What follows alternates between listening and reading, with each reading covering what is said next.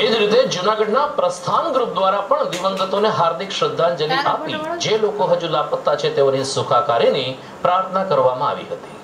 Amidhara complex ખાતે પુષ્પાંજલિ અર્પણ કરતા પ્રસ્થાન ગ્રુપના હોદ્દેદારોને કાર્યકરોએ જણાવ્યું કે પ્રસ્થાન ગ્રુપ જુનાગઢમાં કાર્યરત થયું છે પરંતુ કુદરતી આપત્તિ સામે અથવા તો રાજ્યના કોઈ પણ લડાઈ સામે આ પ્રસ્થાન ગ્રુપ તેમની પડખે રહેશે. તન મન અને ધનથી સહકાર આપવાની નેમ સાથે પ્રસ્થાન ગ્રુપના યુવા મિત્રોએ વધુને વધુ લોકો આ ગ્રુપમાં જોડાય તેવી અપેક્ષા વ્યક્ત કરી હતી.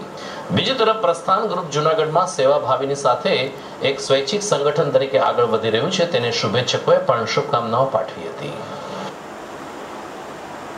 જે લોકો પોતાના ઘરથી વિખુટા પડેલા છે અને પોતાના વતન સુધી પહોંચ્યા નથી, તે જલ્દીથી હેમખેમ પોતાના વતન અને પોતાના ઘર સુધી પહોંચી જાય, એ માટે પ્રસ્થાન ગ્રુપ ભગવાનને પ્રાર્થના કરે છે. અને તંત્રશ્રી, સરકારશ્રીને પણ નમ્ર અપીલ કરે છે કે ગમે ત્યારે કોઈ પણ જરૂર હશે ત્યારે પ્રસ્થાન ગ્રુપ તન, મન અને ધનથી સરકારશ્રી સાથે રહેશે. જે લોકો પોતાના લોકોથી છૂટા પડ્યા છે, ઘર છૂટી છૂટી ગયું છે, એ લોકો માટે આજે જે પ્રાર્થના સભા ગોઠવેલી હતી, એમાં સાથે રહીને ખરેખર એક નાગરિક તરીકે બહુ જ સારી લાગણી અનુભવેલી છે. પ્રસ્થાન ગ્રુપ આજે કામ કરે છે.